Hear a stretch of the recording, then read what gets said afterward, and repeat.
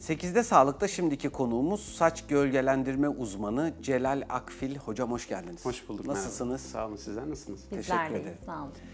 Hocam bu saç gölgelendirme genellikle ilk söylendiğinde saç ekimiyle de karıştırılabilen bir şey. Evet. O yüzden size şunu sormak istiyorum. Bu ağrılı bir işlem midir? Anestezi gerektirir mi? Ve sonrasında böyle kabuklanma veya ciltte döküntülere neden olan bir şey mi? Bu işlem cildin en üst katmanıyla bir alt katmanı arasına yapılan çok fazla ağrılı, sancılı bir işlem değildir.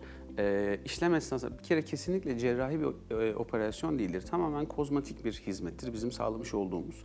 Ee, epidermisle dermis arasına uygulama yaparız ve işlemden sonra ciltte herhangi bir şişme, yara olma, kabuk bağlama kesinlikle olmaz. Kişi e, bizim oradan çıkıp günlük hayatına kaldığı yerden devam edebilir. Örneğin bir e, askeri personelse bizim oradan çıkıp nöbetine kaldığı yerden devam edebilir. Ya da bir her, işlemden sonra herhangi bir toplantıya katılmanız gerekiyordur. Rahatlıkla katılabilirsiniz. Yani e, sonrasında sizi günlük hayatınızdan kesinlikle geri bırakacak bir işlem değildir. Alıkoyacak bir şey değil. Evet. Peki Celal Hocam saç ekimi sonrasında bu ense kısmından, arka kısımdan alınan doner katman kısmında kalan izleri kapatmak için bu işlem yapılabilir mi? Kesinlikle yapılıyor. Hatta e, saç ekimi yapan birçok danışanımız, hatta danışanlarımızın neredeyse %95'i daha önce saç ekimi yaptırdığı halde seyrekliği devam eden kişilerden oluşuyor. E, bu anlamda biz saç ekimi sonrası e, tamamlayıcı bir unsur e, haline geldik. E, evet birçok kişide yoğun bir şekilde ense kısımlarından saç alınması gerekiyor ki aynı yoğunluğun üste transfer edilmesi gerekiyor. Sonrasında ense kısımlarında kalan belli bas, e, belli başlı izler kalıyor. Bunları da e, kapatmak için saç gölgelendirme işlemini, simülasyon işlemini kesinlikle tercih ediyorlar ve çok başarılı bir şekilde kapanıyor. Saç gölgelendirme dediğimiz dolgu tekniğiyle rahatlıkla kapatabiliyoruz. Peki bu yöntemle başka hangi e, bölgelere çalışma yapılabiliyor? Örneğin daha önce kafa derisi üzerine yani beyin ameliyatı geçirmiş Evet. E, ya da e, herhangi bir kaza geçirmiş, kafasının belli bir kısmında iz kalmış e, ya da saç kıran, bölge bölge küçük minik minik saç kıranları olan kişiler bu işlemi özellikle tercih ediyorlar. E, bunun dışında yanık izleri, kafa derisinde yanık izleri olan kişiler de saç gölgelendirmeyi özellikle tercih ediyorlar. Bizim buradaki amacımız örnek veriyorum şu kısımda saç e, kıran ya da burada bir yara izi, bir ameliyat izi oldu. Bizim buradaki amacımız orada homojen bir görüntü sağlamak. Şimdi siyah saçlı bir insan için düşünelim. Simsiyah bir saç, ortada bembeyaz bir deri parlıyor ve altında devam eden bir saç. Biz oraya bir pigment e, yüklemesi yaparak baktığınız zaman karşıdan kişiyi rahatsız etmeyecek, dışarıdan da be- kesinlikle belli olmayacak. Öncelikle doğallık bizim tercihimiz. E, karşıdan baktığınızda homojen oradaki o izi görmüyorsunuz ve bunu sadece siz biliyorsunuz.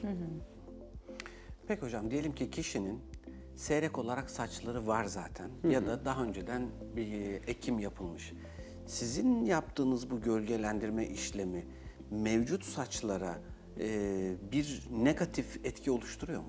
Hayır, işlem esnasında kafa derisinde kan dolaşımı hızlandığı için ki saçın en çok sevdiği şey aslında oradaki kanlanmanın olmasıdır. Saç kandan çok fazla beslenir. E, yaptığımız işlem sonrası %25-%30 oranında kişi PRP etkisi görür. Yani var olan saçlarına herhangi bir zararı olmadığı gibi artı bir de faydası var. E, bizim danışanlarımızın birçoğu e, defalarca saç ekimi yaptırdığı halde seyrekli, seyreklik şikayeti devam eden kişiler. Bu şu demek oluyor aslında. Kişi her bir saç teli için milyarlarca lira para harcamış. Biz eğer bu kişinin saçına zarar verirsek e, orada yapılmış bir sürü emeği aslında çöpe atmış oluruz.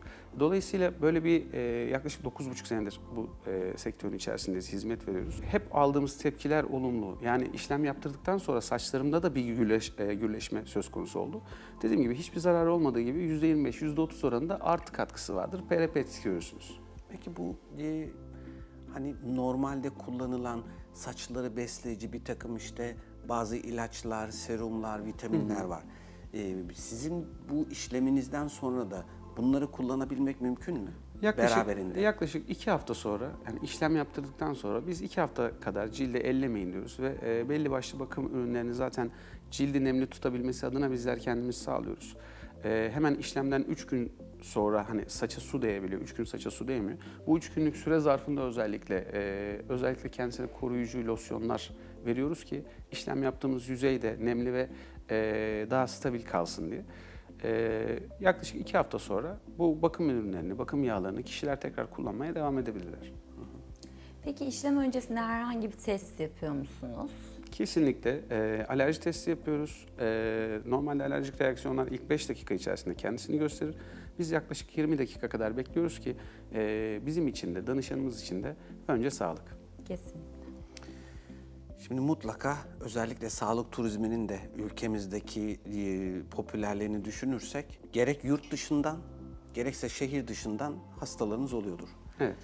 Şimdi bu danışanlar için mesela günübirlik bu işi yapabilmek veya tek seansta bitirebilmek mümkün mü? Mesela kişi tatil için gelmiş olabilir Türkiye'ye. Hani tatiline de ara vermeden e, Denize girerek. bunu yapabilmek mümkün mü? Mümkün. Ee, kendine blok seans halinde hizmet veriyoruz. Örnek veriyorum saat 10-11 sularında işlemi aldığımız bir danışan aşağı yukarı saat 5 gibi işlemi tamamen bitmiş oluyor. Sonrasında 3 gün su değmesin diyoruz. Bakım losyonlarını veriyoruz ama e, kişinin zaten burada 10 gün 15 gün kadar bir vakti oluyor Türkiye'de. Yurt dışından özellikle geldiyse. E, ille de denize gireceğim diyorsa su geçirmez boneler var. İşlemi yaptırıp yarım saat sonra bonesini takıp denizine girebilir. Ama ben şöyle öngörüyorum. Ömrü uzun olan bir işlemi yaptırdığında da 3 gün feragat etmesi tarafından. Kesinlikle ama karşı tarafı da anlamak gerekiyor. Değil mi hocam? Peki iş, ben de bunu soracaktım. İşlemden e, ne kadar sonra e, denizde, havuzlu vesaireydi yapılmalı kısmında? Aslında vakti olan kişiler için diyoruz ki 3 gün su değmesin, bir hafta kadar da denize girmeyin. E, sonrasında istediğiniz gibi denize, havuza girebilirsiniz. Sadece özellikle saçı seyrek olan kişinin saç derisi beyazdır. Biz oraya pigment yüklemesi yaptığımız zaman güneş her zaman koyu rengi daha fazla çeker. E, dolayısıyla diyoruz ki tamam gidin denizinize girin, havuzunuza girin ama 3 saat, 4 saat güneşlenecekseniz bir şapka yoluyla korumanız mümkün. Peki bunun tek seansta yapılması ya da bilmiyorum böyle bir uygulamanız var mı? Daha doğrusu şöyle sorayım. Normalde bu iş birkaç seansta yapılan bir şey midir? Eğer öyleyse dışarıdan bu günübirlik gelen hastalar için tek seansta yapmanın bir dezavantajı var mı? Gerek sizin açınızdan gerekse hasta açısından. Aslında 5-6 saatlik süren bir işlem. Evet e, saatte bir biz kişi sıkılmasın diye çay kahve molaları, molaları mutlaka veriyoruz ama neticede 5-6 saat e, aynı yerde kalmak bazı insanları sıkabiliyor. E, dolayısıyla biz bu insanları seanslara bölüyoruz. Eğer aynı şehirdeyse e, ve gelebilme imkanı varsa seanslara bölüyoruz. Kalite anlamında burada değişen hiçbir faktör yok. E, sadece burada kişiler için daha rahat, daha relax seanslar geçsin diye eğer aynı şehirdeysek seanslara bölebiliyoruz. Sonrasındaki kontrol süreci nasıl? Kontrol süreci e, yurt içinden gelebilecek pozisyonda olan kişiler için e, biz diyoruz ki bir ay, bir buçuk ay sonra mutlaka bir kontrol e, için gelin. Kontrol yapılması gereken bir rutuş varsa onları da gerçekleştirelim. E, yurt dışından gelen danışanlarımız için de e, onlara şunu söylüyoruz. Türkiye'ye ne zaman gelirsiniz? 6 ay sonra tekrar geleceğim diyor. Geldiğinizde mutlaka uğrayın, kontrollerinizi sağlayalım diyoruz. Çünkü bizim buradaki görevimiz şu. e, Eğer işlem ne kadar mükemmel ve başarılı bir şekilde taşınırsa biz o insanın çevresindeki seyrek saçlı insanları da kazanırız. Dolayısıyla kalite bizim için de en önemli sırada geliyor. Evet. Şimdi danışanlardan muhakkak vardır. İlk önce bir yargı oluyor. Aman natürel olsun kısmı olmuş oluyor. Kişi geldi size talebini belirtti. Natürel istedi. Seansını yaptınız. İşte 6 saat sürecek bir işlemi natürel olduğu için 3,5-4 saatte bitirdiniz. Kişi bunu bir yıl kullandı. Ben artık tamam eminim kendimden dedi ve tekrar size geldi. Yine hizmet almak istedi. O noktada e, daha öncesinde bir yıl sonrasında geçtiğiniz noktadan tekrar geçiyor musunuz yoksa aralara gürleştirme operasyonu mu yapıyorsunuz? Aslında öyle olmuyor. Kişi bize gel- e, gelmeden önce örnek veriyorum iki defa saç ekimi yaptırmış ve o seyreklik onu o kadar rahatsız ediyor ki e, biz işlemine başladığımızda ilk kahve molasını verdiğimizde zaten işlemin ne olduğunu anlıyor kendisi bir saat sonra.